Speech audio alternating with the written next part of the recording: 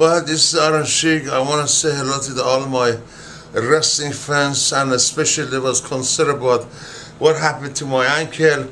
And Eric no, and doctor did a good job, but still, I'm survivor. It's not 100% and good, 50%, but uh, uh, I want to say thank you to the, all of my wrestling fans that are worried about me and they ask me how is your food and is it still get better. I'm competitor and and I was uh, all my life comp- compete and and and 50% so far pretty good. 50% left.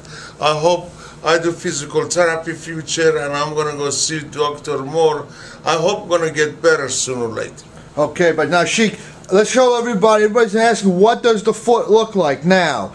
So for the first time, let's show everybody what what the ankle looks like, right? Right. Okay, so I'm going to pan down to the ankle here.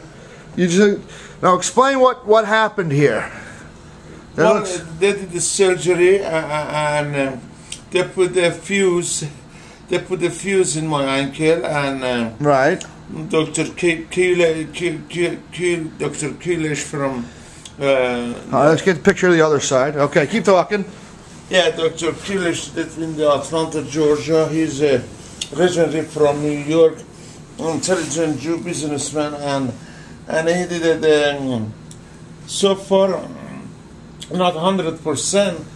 Uh, I'm okay, but uh, I hope pretty soon get better and and as well and Eric can see it and both sides is uh, a little bit is still not hundred percent well, but I hope pretty soon I'm gonna get better and I feel better and uh, I do my best.